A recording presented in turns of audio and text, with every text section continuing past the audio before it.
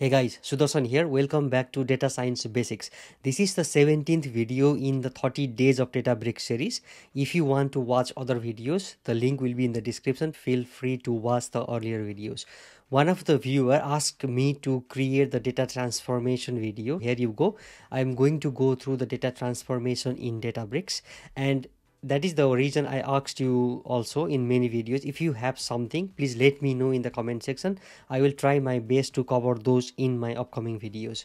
What i'm going to go through here is first i will show you the basic data transformation steps using PySpark. i will show you how you can create the calculated field inner join left join join and then how you can do the same thing using sql also and then using pandas also this is the good part of uh, databricks because in the same notebook you can run different languages. Like as it is mentioned here also you can use sql python scala and r. And this is good place to learn also different things and yeah that's what i'm going to go through. And this is the last video before i upgrade the free version. Now we are using the community edition. I have created 17 videos in the community edition. But from next video i will show you first how you can upgrade to the free trial of 14 days. And then i will show you all the advanced functionality of databricks. Stay tuned for that. Now let's go through the data transformation steps as i said we are using pyspark because it performs the operations of data frames in a distributed fashion. And there might be some time where you need to use PySpark or pandas is also good. So i'm going to show you all the different things. You can read this in your free time. I'll provide the notebook in the description. You can run this notebook by yourself. First what you need is data in order to work. So what i'm doing here is just creating the random uh, data frames because i'm going to show you the data transformations meaning that at least if we have two data sets then it's easier. I'm creating here df1 and df2 just passing some random stops here. I have in one df1 i have id name and score one. And in the next one i have id score 2 and city it's already being created. It took 5.80 seconds. And now i can just display that df1 as you can see here id name and score 1 and if i want to know what is the mean and max things you can just provide this random stuff here. So it will say what is the minimum and the maximum. So 1 and 100000 meaning that we have 100000 rows here. Display is df2 if you can just go and see what is in df2 as i said before id is core to city when you do some kind of data transformation steps if you are working with two tables at least there should be at least one column in common so that you can use some data transformations into that two uh, tables or data frame. Hence there is id numbers and then also there is id number so we are going to utilize that id in order to do the data transformation steps. As i said here we'll create a calculated field first. For that what we need to do is just import col from sql functions. And what i am doing here is df1.with column to create a new column. Score one double. And what i'm doing here is i'm taking the score one column and multiplying that by two. That's nothing. That's simple. If you want if you know what you are doing then it's not that hard. Now it's already there. And if i go and display df1 there should be one extra column being created. Score one double which is two times the score one so yeah that's how you can create a new calculated field. You can utilize your own logic in order to create the new calculated field based on your use cases. Now let's go and see how you can do the inner join. So inner join is just df1 dot join df2 meaning that i want to join df2 in df1 and i'm providing here on id and how i want to do is the inner join this is the thing that you can use in PySpark. If I run this, there is the inner join df of being created. Now inner join df is being created with the inner join. As you can see here, there are more columns which are also taken from the df2. In df1, we had name score 1 score 1 double.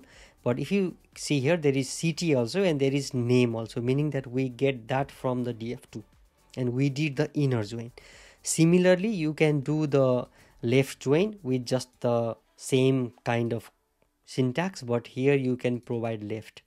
You need to know why you are doing this based on your use cases but i'm just showing you this is how you can do.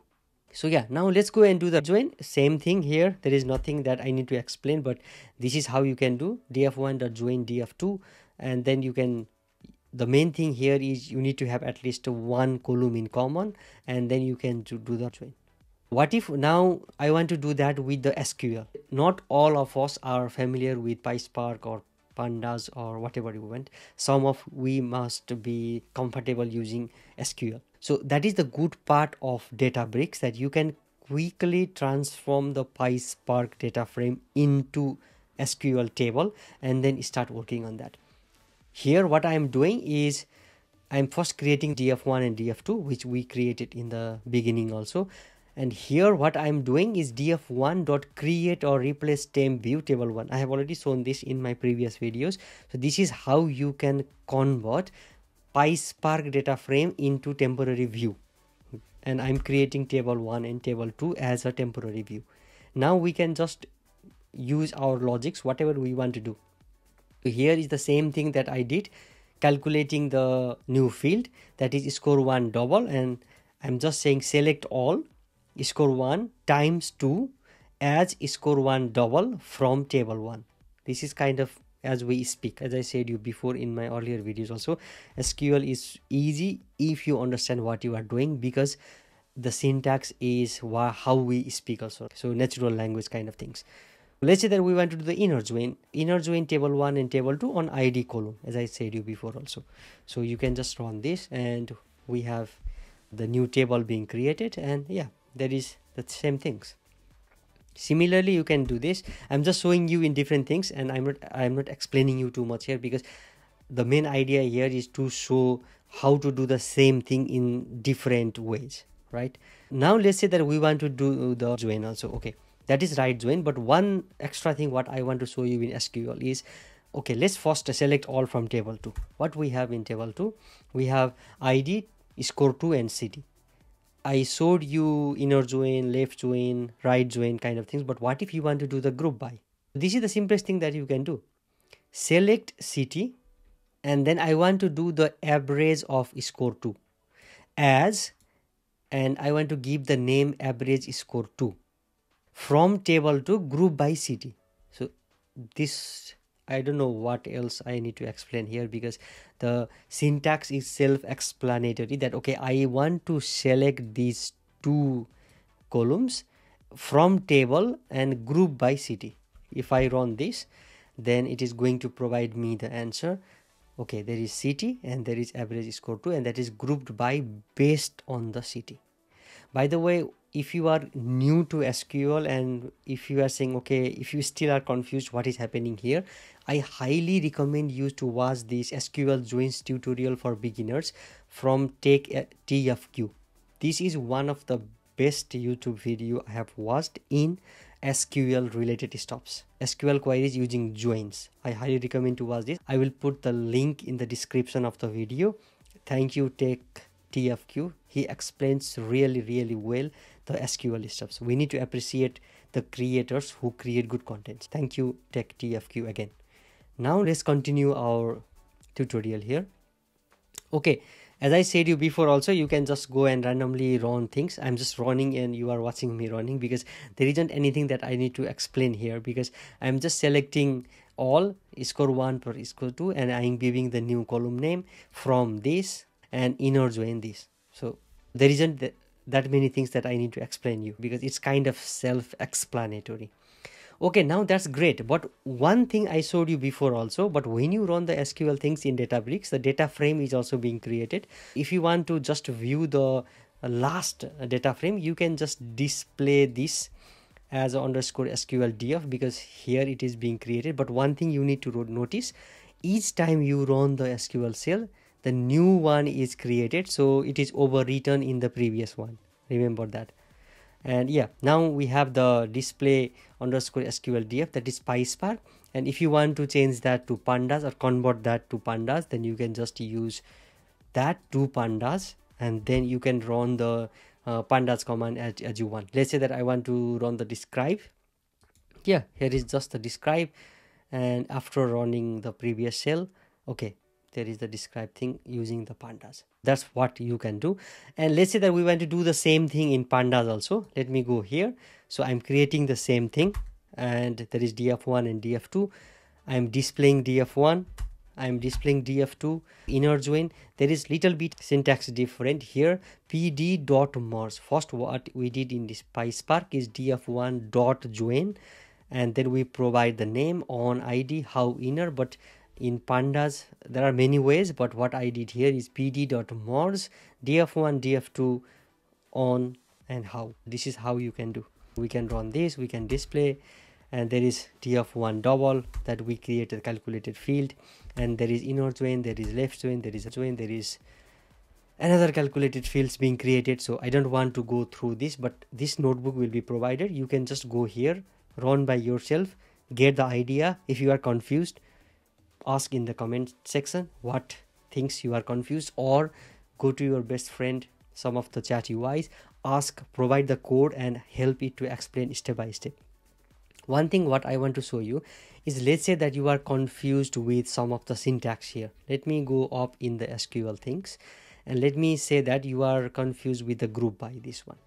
What i can do is just copy this go to chat uis and what i can do is here okay explain me this code step by step and shift enter. Just paste it there. But one thing you need to be careful is don't paste the things that is confidential but this is not confidential. As you can see here it says certainly this provided sql code. Okay it even provided the answer for you. It says here first we are selecting this and then from table group by city and it also provided something here. Okay city score 2 and the query will group the data and it is shown here. This is quite explanatory also now that okay there is two newark and newark. There is boston and boston there is chicago. We, if we group by then only three of the rows are being created. As you can see here there is newark boston chicago and it adds these two. So we are doing average meaning that it adds this 80 plus 85 and it does the average divide by 2 and the answer is 82.5 this is how you can take the help of uh, chat uis also in order to know what is happening behind the scene or how different things work. We are living in the world of ai and it would be foolish not to use the tools that is being provided for us to learn new stuffs. But one thing is don't completely rely on this so that you don't gain knowledge but taking help to enhance your knowledge is always great idea. Okay that's all for this video. Thank you for watching and see you in the next one